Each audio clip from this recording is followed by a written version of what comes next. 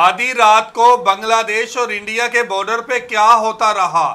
बांग्लादेश की फौज इनको पकड़ने के लिए भागी और वो अपना सामान छोड़कर भाग गए।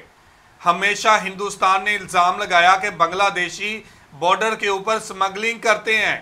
लेकिन आधी रात को मीडिया के साथ जब छापा मारा बांग्लादेश बॉर्डर गार्ड ने तो हिंदुस्तानी जी हाँ हिंदुस्तानी स्मगलिंग कर रहे थे। और अपना सामान छोड़कर भाग गए।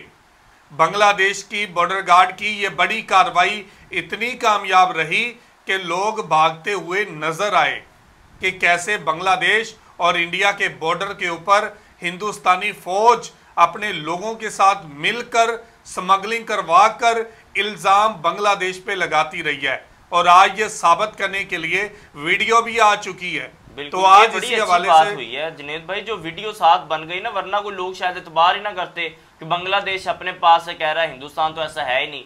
जैसे आपको पता है हिंदुस्तानी मीडिया बातें कर रहा होता है। कभी इन्होंने एक्सेप्ट ही नहीं किया इन चीज़ों को इन इल्ज़ामात को तो आज इसी हवाले से वीडियो है कि बांग्लादेश की बॉर्डर गार्ड ने बड़ी कार्रवाई की आधी रात को हिंदुस्तानी गैर कानूनी तौर पे बांग्लादेश के अंदर घुसे और सामान लेकर आए।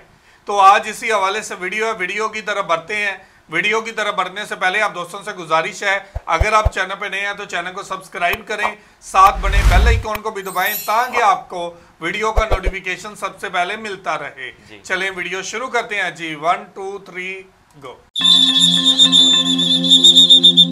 সিলেটের পাদুয়া সীমান্ত এপারে বাংলাদেশ আর ওই পারে ভারতের মেঘালয় রাতের আধার নেমে এলেই বদলে যায় এ সীমান্তের চিত্র মদ, ইয়াবা, চিনি, কসমেটিক্স সহ নানা পণ্য চোরাচালান সহ নানা অপরাধের কেন্দ্র হয়ে ওঠে এ সীমান্ত। আমি এই মুহূর্তে আছি সিলেট গোয়েনঘাট ভারত সীমান্তে। পাশেই ভারতের মেঘালয় প্রদেশ। রাত হলেই এসব সীমান্তে শুরু হয় চিনি চোরাচালান, ইয়াবা ফেন্সিডিল সহ মানব পাচার। আজকে জানার চেষ্টা করব কীভাবে এসব অপরাধ সংগঠিত হচ্ছে এ সীমান্তে। কি করছে বিজিবি? রাত দশটার পর থেকে সিলেটের গোয়াইনঘাটের প্রতাপপুর সীমান্ত এলাকার বিভিন্ন পথ দিয়ে অনুসন্ধান শুরু করে একাত্তর টিম। পাহাড় নদী অতিক্রম করে এক ঘণ্টা হাঁটার পর রাত একটায় সীমান্তে হঠাৎ চোখে পড়ে বেশ কয়েকজন যুবককে। জানা গেল, দুশো টাকার চুক্তিতে প্রতিদিন রাতে সীমান্তের ওই পারে ভারত থেকে চোরাই পণ্য বহন করে নিয়ে আসে বাংলাদেশে। তারা বলছেন, সরকার বদলের পর বদলে গেছে চোরাচালানের চিত্র। সীমান্তে বিজিবির কড়া নিরাপত্তা থাকলেও প্রতিদিন ভারত থেকে চিনি শাড়ি কসমেটিক সহ বিভিন্ন পণ্য নিয়ে আসেন তারা। রাত্রে দুটা থেকে তিনটা পর্যন্ত এরকম ভাবে ডিউটি করা লাগে আমাদের। দুশো তিনশো টাকা পাওয়া যায়। বিজেপি দলেও টানার দেওয়া দেয়। নানার থেকে আইয়া আবার কাজ কাজও লাগে যায়। কাইতে তৈব পেটের লাগে। সরকার পাল্টানোর পর এখন বর্তমানে বিজেপি অনেক গরম হয়ে গেছে। এর কিছুক্ষণ পর সীমান্তে বিজিবির টহল টিমের সাথে মুখোমুখি টিম একাত্তর। প্রশ্ন এত রাতে কেন সীমান্তে? আপনি একাত্তর টেলিভিশনের সাংবাদিক রাত্রে এই সময় কি জন্য সীমান্ত এলাকা? এই যে সীমান্তে মানব পাচার চিনি চোরাচালান এইসব বিষয় নিউজ করতে আসছে। এসব নিউজ করার জন্য আমাদের ঊর্ধ্বতন অথরিটি জানে আপনি যোগাযোগ করছেন বা কোনো আদেশ আছে কিনা আপনারে? লিখিত আসলে তো জানাতে হবে বিষয়টা তো আমার জানা নাই। না এটা আমাদের বিজিবি হেডকোয়ার্টারের আদেশ আপনার কোনো যদি কার্যক্রম থাকে আমাদের ব্যাটালিয়ন সদর সিলেট আটচল্লিশ বিজিবি অবগত করবেন ওনারা আমাদেরকে এখানে ইনফরমেশন করবে যে অমুক নামের ব্যক্তি আসবে এই কাজের জন্য না হলে আপনি আসতে পারেন আমি তো ভাইয়া রিয়েল সাংবাদিক আমার আপনি রিয়েল হন আর যাই হন কিন্তু।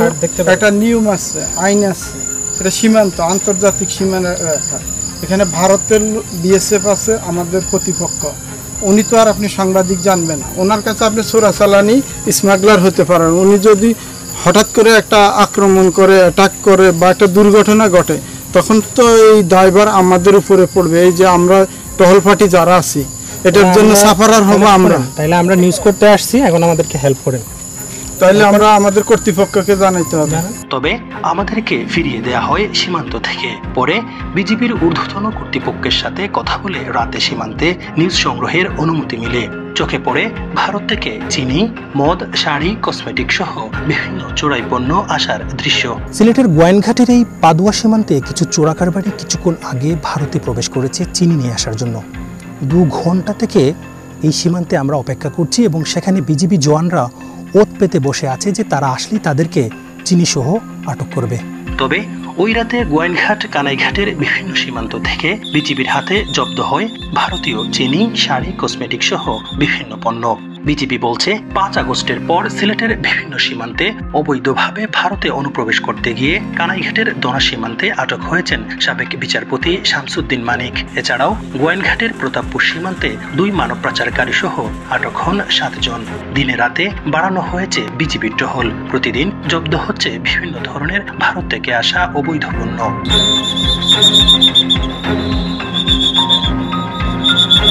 বিজিবি জানায়, এবছর আগস্ট মাস পর্যন্ত বাংলাদেশ থেকে ভারতে প্রবেশের সময় সিলেট সীমান্তে জব্দ হয়েছে ন কোটি আটানব্বই লাখ টাকার বিভিন্ন পণ্য।